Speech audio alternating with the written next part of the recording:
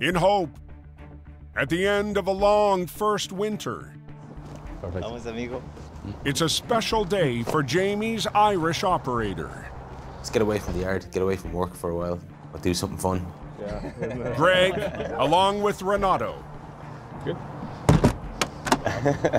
are about to see the Coke like never before. Everybody's just buzzing. Renato's smile from ear to ear. I'm lucky enough to be sitting in the front seat. We got the best view. Got this bubble window, you know. It's kind of crazy. We're all from, you know, Ireland, France, Chile. I think everybody's excited. Huh? El ser humano va buscando aventura. Tener la oportunidad de estar en lugares extremos. Lo máximo. Alright, you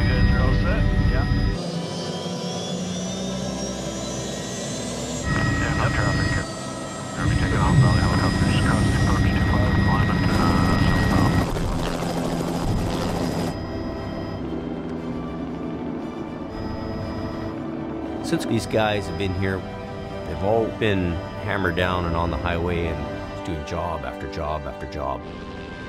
They deserve a break like this. It's like a perfect day for it, you know. It's clear blue skies, sun is shining.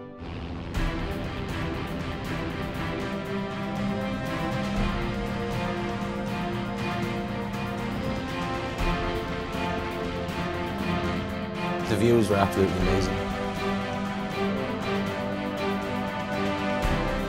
Like nothing I would see back home.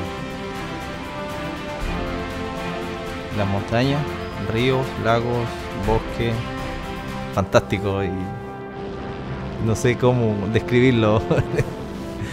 De- Además, aparte de ser fantástico, see all the way down to the Fraser Valley.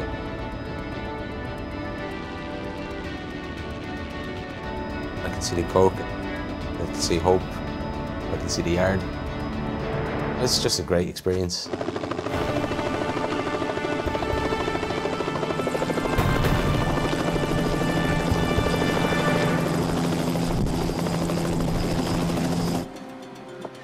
¡Wow! ¡Excelente!